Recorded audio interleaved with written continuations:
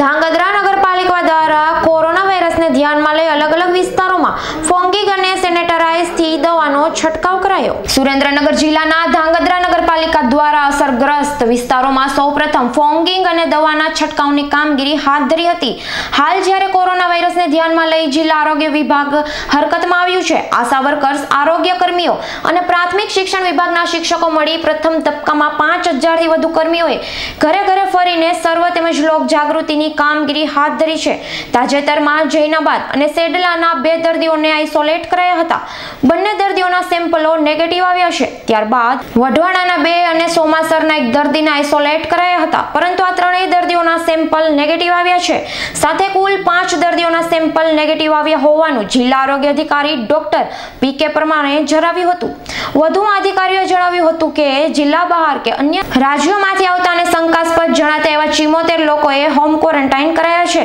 બહારથી આવનારા સમયમાં ચૌદ દિવસ સુધી આ લોકોને હોમ ક્વોરન્ટાઇન રહેનાર છે.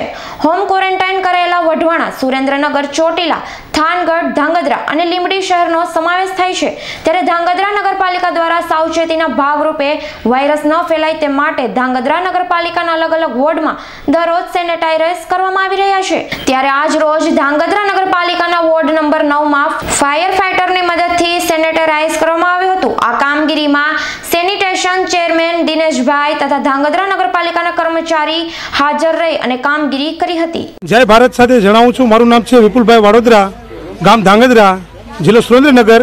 આજે હું સફાઈ કામદારમાં ફરજ બજાવું છું અને ધાંગધ્રાની સ્થિતિ પ્રમાણે અમારા નગરપાલિકાની અંદર આજે નગરપાલિકાએ એવું જાહેર કર્યું છે કે આપણે કોઈ માણસને, કોઈ છોકરાઓને કોઈને બીમાર પડે નહીં એટલે અમારા નગરપાલિકા તરફથી અમારા ધનુભાઈ છે, અમારા મોટા મોટા સાહેબો છે. એ અમને ઓડ વાઇઝિક બધે દવા છાંટવાનો અમને હુકમ લીધો છે, નિર્ણય લીધો છે અને અમે અત્યારે નવમા ઓડની અંદર બસ સ્ટેન્ડથી ચાલુ કર્યું છે દવા છાંટવાનું. તો નોમા ઓડ અંદર અને સ્ટેશનની બાજુમાં પણ વિસ્તારો છે, અહીંયા પણ અમે દવા છાંટી છીએ અને અમે અમારી ફરજ બજાવી છીએ. જય હિન્દ, જય ભીમ. શાહરૂખ સિપાઈનો રિપોર્ટ ધાંગધ્રા